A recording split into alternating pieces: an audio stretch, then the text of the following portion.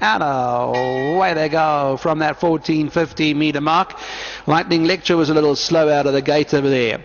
But getting out well, Flybyme on the far side of Wittenberg. And after that, Swordsmith up there with him. Hurricane Force in the green bodies there. Two exhilarations on the far outside, looking to go up there and join the leaders. After them, Master Blaster. They race their four, five lengths from the leaders right now, being followed by Lochlorien, who's back along the inside of runners. Alongside of Swordsmith, they six or seven off the leader.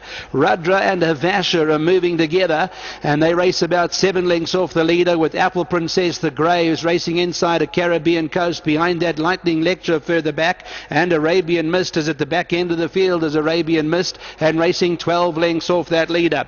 Flybyme is the leader from Exhilaration, and then came Hurricane Force back in third. Wittenberg behind those now, Lochlorien behind them. They're a few off the leader. Master Blaster's got about four or five to make up on the leaders as well right now. Apple Princess is racing in behind that. Here's Rudra who races right down the middle of the course too as they come to the 200. Rudra's come through to pick it up. Lochlorien has moved in on the very far side, but it's Rudra the leader with 100 to go. Vash is trying to run on two and lightning lecture from the back end of the field here, but it's Rudra on the far side. He's got it under control. Has Rudra and Rudra's going to win it smartly today. He won it by a solid five lengths. Lightning lecture was second. Havasha third and Apple Princess behind him.